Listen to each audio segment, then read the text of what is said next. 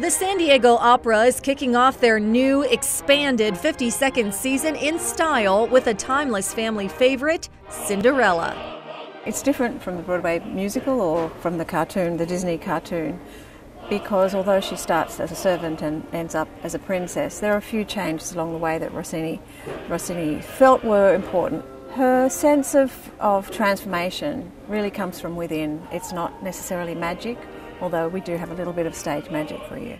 While in the opera Cinderella, you get an evil stepfather instead of a stepmother and a fairy godfather instead of a godmother, one element that doesn't change is Cinderella's handsome prince. Um, I'm playing Don Ramiro, and he's the prince.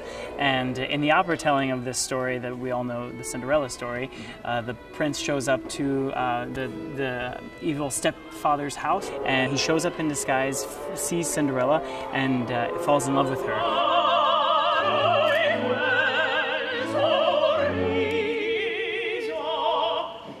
One of the greatest things about the Cinderella story is its appeal to children who might not otherwise experience opera. Children will love this show. You've got lots of special effects. There's, it's funny, it's heartwarming, it's active. There's not a lot of standing and singing. Uh, there's a lot to look at. The set, you could spend probably 20 minutes just looking at the set alone. Um, very interactive parents should bring their kids to see the show because it's about a, a, a little girl or a, Cinderella is a very good person and her goodness shines through. I think she sets a really fine example. I think that's what fairy tales are all about. A, a, little bit about being true to yourself and being good to people, and for that she is rewarded.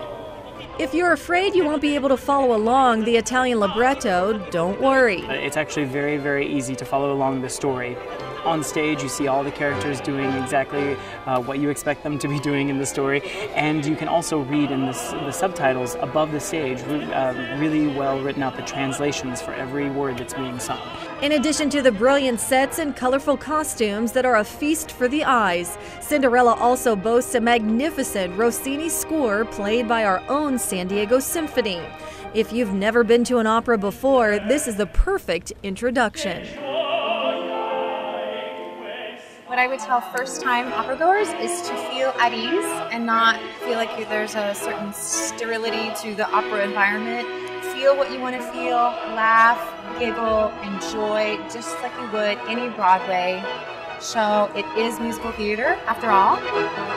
Cinderella opens Saturday and runs through October 30th. For more information, go to KUSI.com. Brandy Williams, KUSI News.